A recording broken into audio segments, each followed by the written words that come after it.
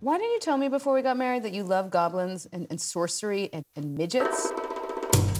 You're so self-centered. You actually don't look at my face. What? Yeah. Can't avoid it. Ah! Oh my god!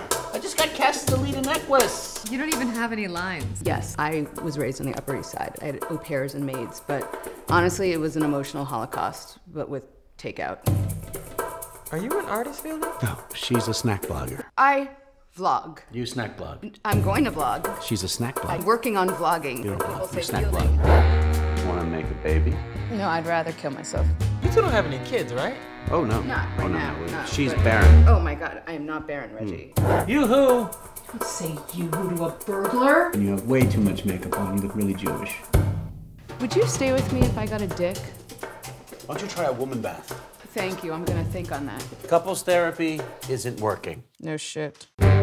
I hope you don't turn into a horse face like your big, fat, winning mother. You can't say things like that. That's why we're both not successful at all.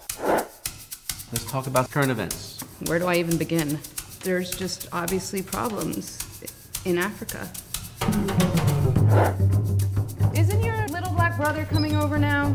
I spent an entire year in my room just trying to figure out how to tell the Olsen twins apart. What, is your personal organizer gonna declutter your vagina? But that was quick. Do you live on our roof?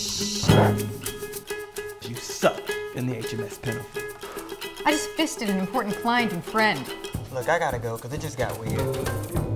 Is it inside me?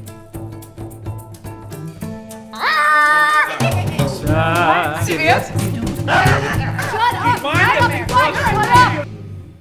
Just remember what our first couples therapist said to do. If things get heated, somebody gives somebody a compliment, Oh, the compliment. compliment right. So thing. Uh, okay.